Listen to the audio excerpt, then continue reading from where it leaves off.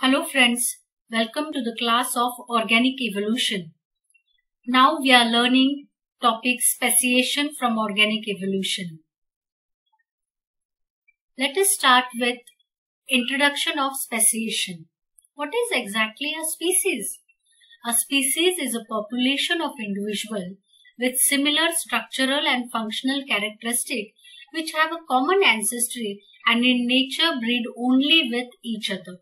So this is a species and the process by which new species develops from the existing species is known as speciation. So now we know what is speciation. What are the potential modes of speciation? There are two modes of speciation. Instantaneous speciation which occurs at fast rate and gradual speciation which occurs at slow rate comparatively. So in instantaneous speciation uh, it occurs through individuals and gradual speciation occurs through the population. Instantaneous speciation can occur genetically or cytolo cytologically. Genetically it can occur by single mutation or by macrogenesis and cytologically by chromosomal mutations or by polyploidy. And gradual speciation can occur through two ways. Geographical speciation which is called as allopatric speciation and sympatric speciation. So one by one now we'll learn these potential modes of speciation. We'll start with instantaneous speciation instantaneous speciation, the production of a single individual that is reproductively isolated from the species to which the parental stock belongs and is reproductively and ecologically capable of establishing a new species population.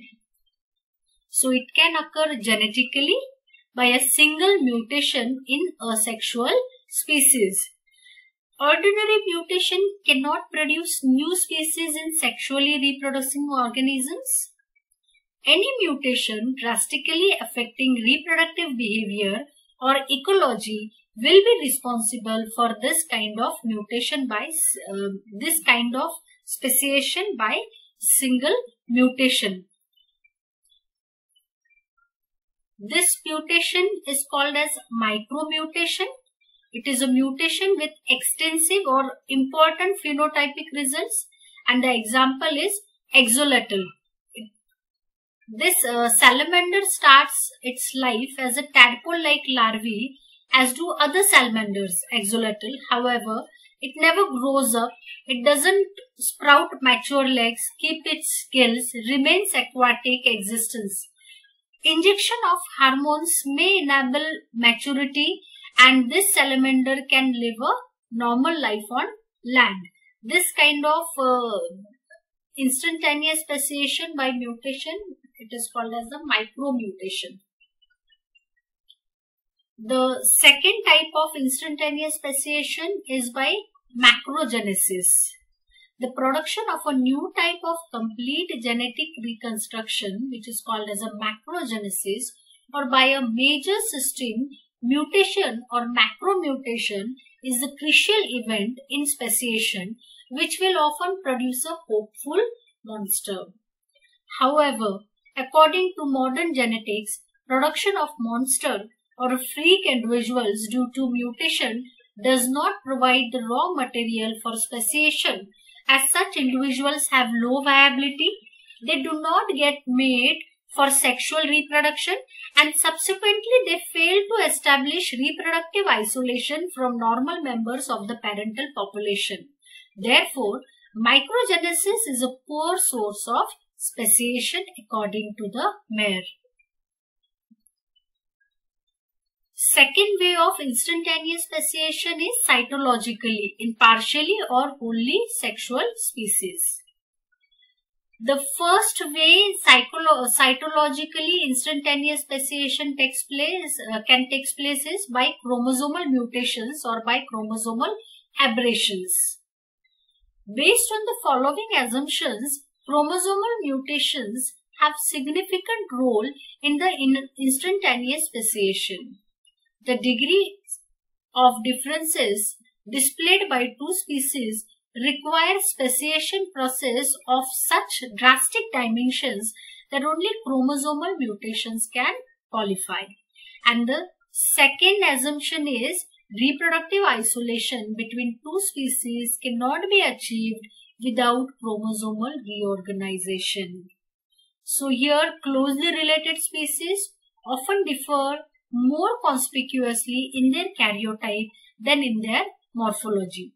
For example, chromosome number, metacentric or acrocentric chromosome number, the presence or of kind of paracentric or pericentric inversions etc. in the chromosomes. So here in the diagram we can see the normal set of chromosomes and the second diagram shows us the translocation in the chromosome which often can lead to the instantaneous speciation. Second uh, way cytologically instantaneous speciation can, can take place is by polyploidy. Polyploidy is a multiplication of the normal chromosome number. It is widespread among plants and it is important mechanism of speciation in plant king kingdom. It is uh, comparatively rare among animals. It occurs only in those uh, animal group which reproduces parthenogenetically. So the example is uh, lumbricid earthworms and turbellarians and certain groups of weevils. Next kind of speciation is gradual speciation. Gradual speciation is the gradual divergence of population until they have reached the levels of the specific distinctive, distinctiveness. It is called as the, the first type of gradual speciation is by allopatric uh, way or by geographical isolation which is called as allopatric speciation.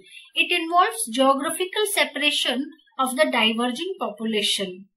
Allopatric speciation occurs when geographic isolation creates a situation where reproduction can't occur and uh, it is an extrinsic mechanism. The example is of um, Harris antelope squirrels. These two species of the squirrels, they inhabit the canyon's uh, rim. So one species inhabits the canyon south rim just a few miles of mile away on the north rim lives the closely related white-tailed antelope squirrel. Both these species cannot uh, meet with each other and uh, they they show the separate evolution, separate adaptation to their habitat and thus they have uh, they have shown speciation in them. Next type of speciation is sympatric speciation. It is the method of origin of reproductive isolating mechanism within the dispersal area, area of the offspring of a single deme. Sympatric speciation occurs when reproduction is not inhibited by geographic isolation but something about the individual organisms of the population changes and interferes with the reproductive capability. capability. It is an intrinsic mechanism. And the example is bird of paradise. Uh, they, they shows different kind of ethological behavior which, uh, which leads to the speciation among these birds. So these are the different kinds of isolating mechanism which ultimately leads to the speciation. There are prezygotic isolating mechanism Temporal isolating mechanism occurs when two species mate at different types of the year. Ecological isolating mechanism occurs when two species occupy different habitats. Behavioral uh, uh, isolating mechanism occurs when two species have different courtship behavior. Mechanical isolating mechanism occurs when physical differences prevent copulation among two species. Post-zygotic isolating mechanism includes hybrid inviability. Here hybrids are produced but fail to develop to reproductive maturity. And hybrid infertility, Here hybrids fail to produce functional gametes that is sterile, sterility. And the last one is hybrid breakdown. Here F1 hybrids are fertile but F2 generations fail to develop properly. So all these are isolating mechanism which leads to the speciation. This is the diagrammatic representation of the uh, speciation. Here one single population is divided into two population because of geographical barrier and it is called as allopatric speciation caused due to the extrinsic uh, uh, extrinsic characteristics and due to intrinsic characteristic this sympatric speciation occur. Here the uh, habitat is same but uh, due to some behavioral pattern there are two kinds of species we can see here in this diagram. One more example of allopatric speciation due to the isthmus of panama these two kinds of fishes we can see uh, on uh, um, on each side of the isthmus of panama and uh, behavioral isolation leads to the sympatric speciation. The best example is blue-footed um, uh, booby bird and uh, masked booby bird because they perform the different courtship rituals. What are the patterns of speciation? There are two patterns of speciation. One is anagenesis speciation which is non-branching kind of uh, speciation and uh, the second is cladogenesis which is a branching pattern of speciation. In anagenesis speciation, one species is going to replace the other. No net change in number of species. One species will lead to the formation of one species. It is not 1 plus 1, 2. A slow gradual accumulation of heritable changes, which are often called as adaptations in a population, due to many small episodes of natural selection occur in this case. So one species changes slowly, step by step, until it looks so different that we call it as a new species. And in cladogenesis, which is a branching kind of uh, speciation, one species branches off from an existing species. A net increase in number of species is seen here. A more rapid splitting of one or more new species from an original species that may or may not continue to exist. So one species branches into two or more new ones. This process is the basis for the biological diversity. So here we can see the two patterns of speciation. One is non-branching evolution here one species completely replaces the other species and the second is branching evolution.